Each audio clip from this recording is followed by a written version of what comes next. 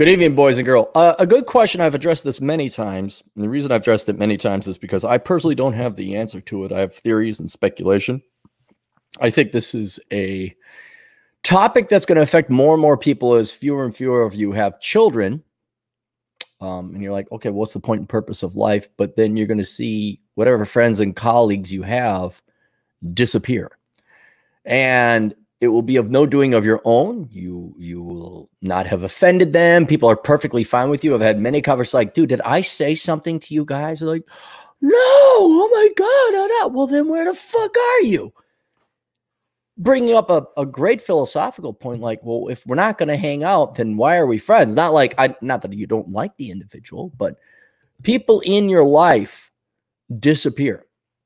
And um, when you don't have kids or you get your finances together and you don't fuck up, uh, there's a generation of young men and some women too. We do have some women listeners here who are going to play their cards right, who are going to listen and apply the wisdom we've had. You know, I, I don't know how many that my financial wisdom, the red pill, the manosphere, whatever these harshly truth, cold truths. It, people are a lot of you are investing in it. We just I did a video about a guy who became an electrician.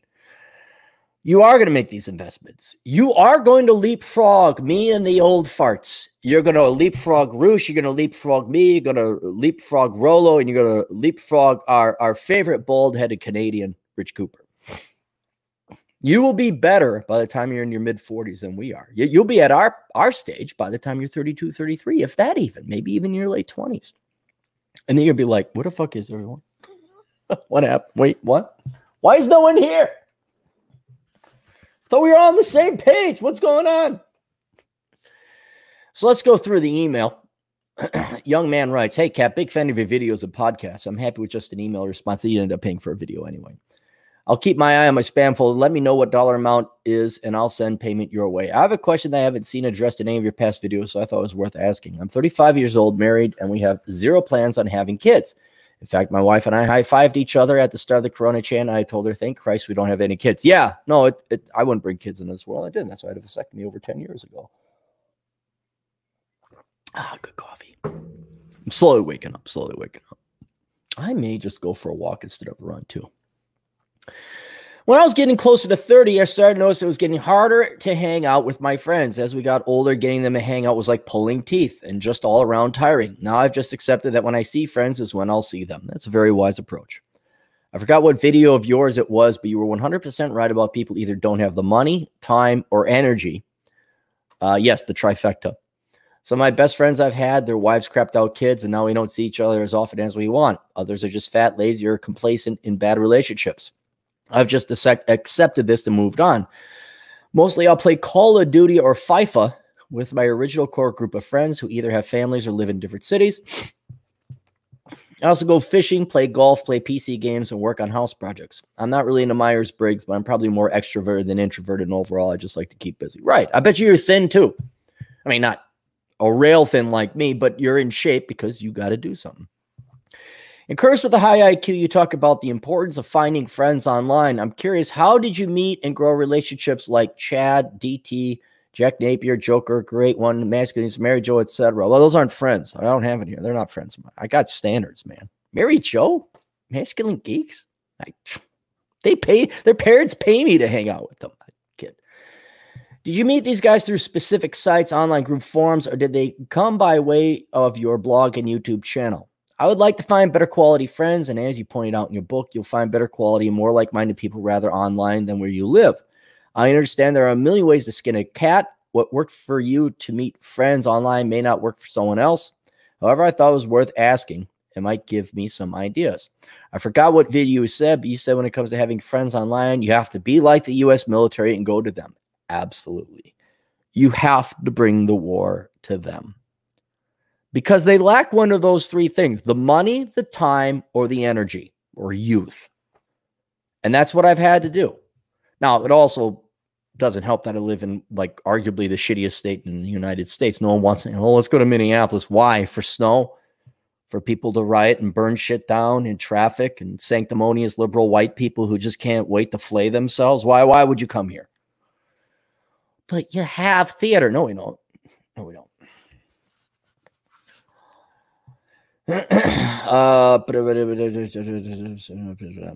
Uh, directly you have to be the one to jump in a plane or jump in your car and go see them so regardless of how i meet like-minded people online i might have to be the one to visit them which i'm fine with i used to visit my college friends in my 20s i usually go out and fly to visit my family nowadays i'm more motivated socially than most people and so i put forth the extra effort hope all's well let me know what the charge is to keep making awesome videos and podcasts thanks jp all right you are 100% correct and your theories as to why your friends leave. They don't they don't abandon you. Let's be very clear. They don't leave. Just life happens.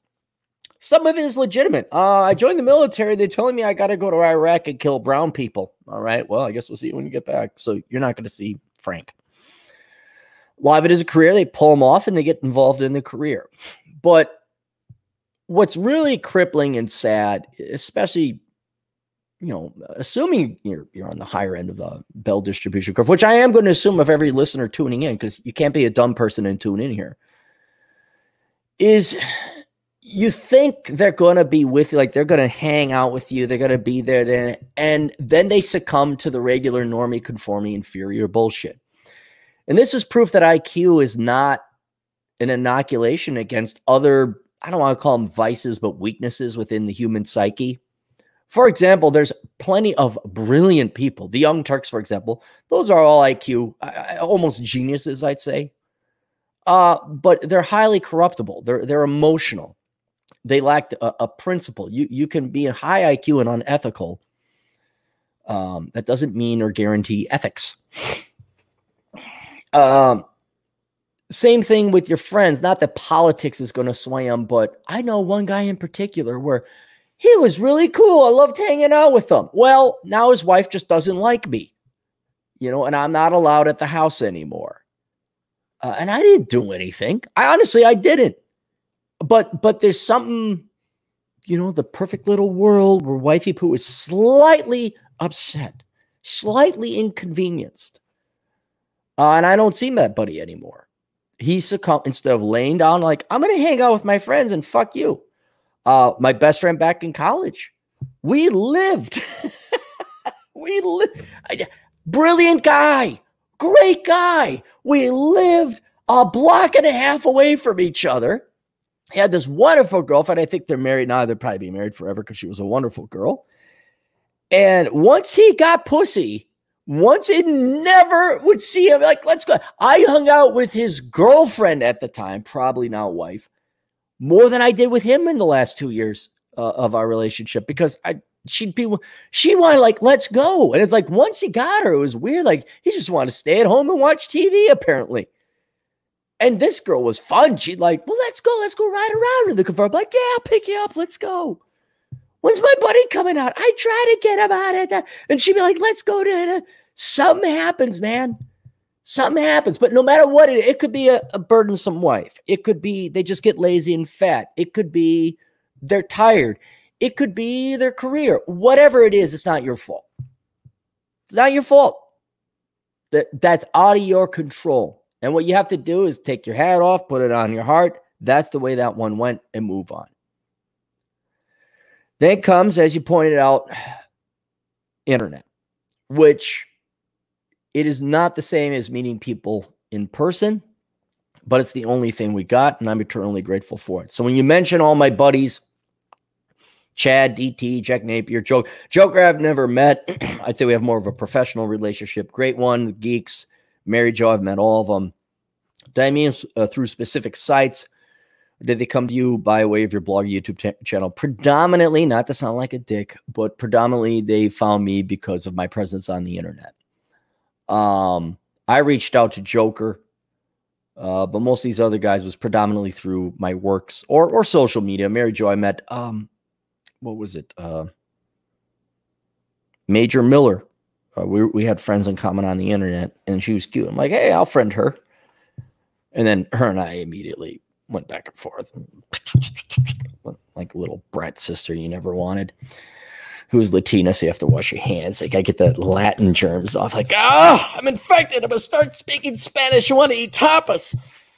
Oh, whew, thank God. Almost had a hankering for refried beans, which is the most disgusting fucking food ever. Do you want refried beans? No, I don't want something that looks like diarrhea. Get that fucking shit out of here.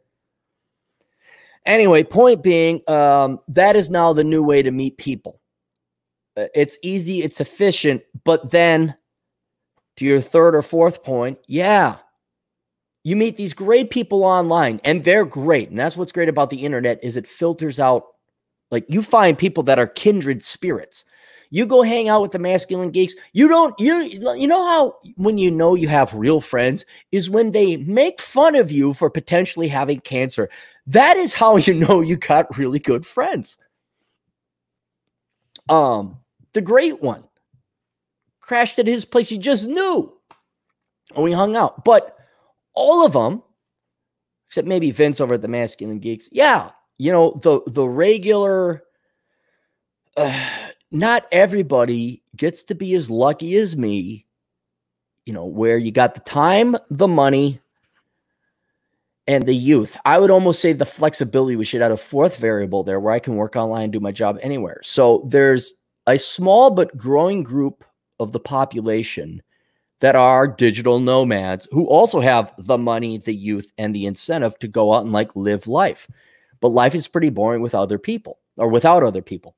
So then when you go and look for your buddies from the olden days in college, they're not there because they don't have those four traits. And they have probably anchored themselves to some other institution within society, like a career or, or a wife or a husband.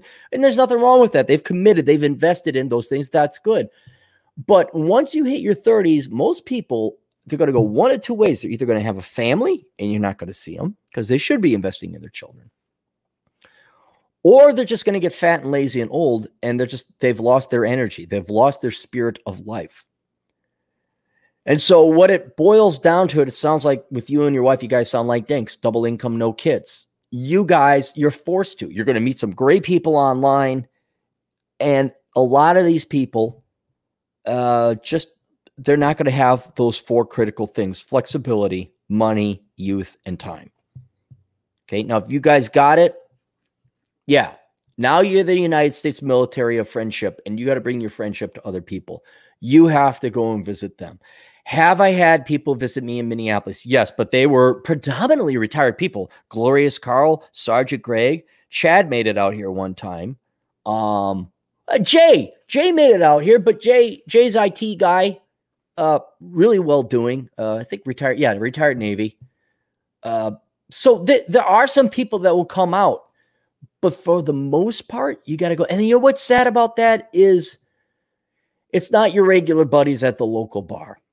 It's not regular. These are people you see once every six months, if that even. Uh, and you're very happy when you see them, but they're not. I, they are part of your life, but they're not part of your regular day to day life. And you desperately wish they would. You wish they were your neighbor. You totally do. But that is the new normal. That is, you know, everyone wants solutions. Well, the solution is very complicated and difficult. You got to fly to where they go. Same thing I tell Chad. Look, you want to meet a girl, you got to fly out there. Uh, the both on men and women's side. This is not just women. I know we we disproportionately slam on women because they disproportionately make stupid fucking decisions and have stupid fucking ideas. But men have been equally stupid in this as the women, where I say, "Hey, there's this girl I know, um, kind of fits your requirements. Nice gal. Why why don't you guys meet? Well, where does she live? Well, she she lives in." Uh, Chanhassen. Atham, look it up. Way the fuck on the west south side. But I'm in Stillwater. That's like all the way across the metro. Oh my God, no. Like, yeah, because true love isn't worth like 50 mile drive, huh, dumbass? You guys couldn't like move closer together. I mean, the the laziness, and you you hit it up, they're so lazy. They're not willing to do it. But if you're willing to do, and this is why I point out with Chad, like I think the the future of dating, especially for high IQ individuals, I'm not kissing your asses, just pointing it out, is where you set your dating parameters to the entire United States or whatever country you're respectively in. And you're willing to spend the $300 to get a flight out there and back because you know going on a bunch of shitty dates with a, a bunch of shitty local people is likely not going to result in anything. But if you use the internet, uh, and this is the context of dating, but it could also be friends, but you will naturally screen and find people you cherish, whether romantically or friendshiply. If that's a word, but it is not because I'm a professional author. It's worth it for the 300 bucks to go flat. Like I, my buddy Marco, he's in Switzerland. It was great. I'm so happy I flew out there. He was a wonderful Dan. Dan was over in uh, near Geneva, and he and I was like, "Dang man, it's good. Yeah, thanks, thanks." Never met him before, but just great fellows, great guys. And is it what you want? Like, are you going to have this group of people that go for cocktails like it was when you were in your 20s and then you had dancing and jazz and everything was wonderful and you slept with half the women in your group? Uh,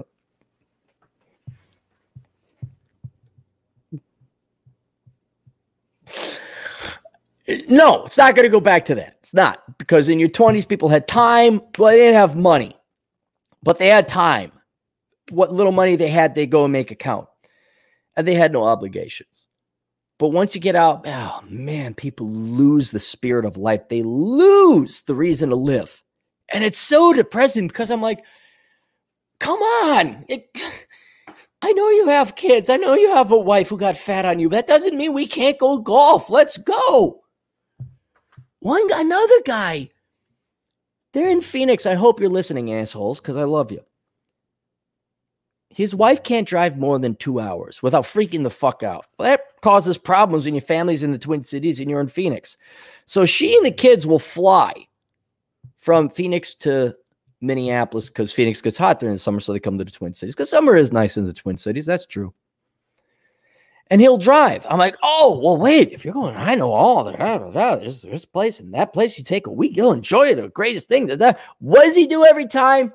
He doesn't go the way I tell him. He goes straight east on 40, shoots up Albuquerque, then he cuts through Nebraska or Kansas because it's the shortest route. No, it goes through. It goes out of Tucumcari Atham, look it up. It goes through Tucumcari, and there's a, a shot that diagonals through Kansas. It actually is a time saver. It goes through Liberal, Kansas, and I think you end up in Wichita. Then he hooks up the 35 and he goes north. You guys think I'm nerdy, but I do know the United States that well. I'm like, you missed out on everything. You missed out on every. There is so much cool shit you could have seen if you took an extra day. I had buddies who would let you sleep on their couch. No, because he lost the will to live. He lost the will to live. There's no other thing. It's all robot. And then it's like, what happened? Now, I don't know. I don't know. And that's why I'm just as upset about it. But it's like, what happened to the individual? What happened to that guy or gal that was like adventuresome and do this and do that? I don't know what happens, man, but it does. And so, what you really got to do, and especially nowadays, I guess, because everyone's on the internet now, the new optimal form of finding friends is you find them on the internet, you exchange banter. And this happens commonly where people would meet me and like, well, you're just like you are on the internet. I'm like, uh, yeah, because I'm one, fucking awesome. And two, I ain't got time to be anybody else. And you'll find out who your real friends are. And if you and your wife are dinks and you ain't got the money, or I'm sorry, you you do have the money, you do have the time, you do have the flexibility. Yeah, you're going to go there. But that's how you meet them. You just meet them on the internet. And you got to kind of be careful a little bit. Like, you don't want to just like friend everybody on the internet, but you watch and read, like, that guy's kind of cool. And mm-hmm. you exchange in direct messages and you develop a rapport with one another. And then you find, yeah, th- these are cool cats. These are pretty, you know, Beckloff was like that. Beckloff was all you know, you, when you met him, he was he was the nerdy, geeky comic book guy. Like, yeah, I like Beckloff. Yeah, he's a cool guy. And that's it. But they're not going to be part of your local cabal of friends.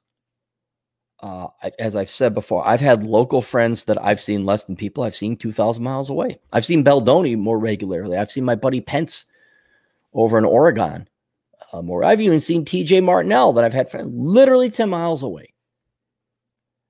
Uh, but that's that's the new friendship. And since you have no kids, you don't want to have kids, that is the biggest frontier in the struggle. Like, okay, where do we find other people? It's not the only thing you and your wife have yourself. That's great, but Where do you find? You got to go, man. You got to go get them.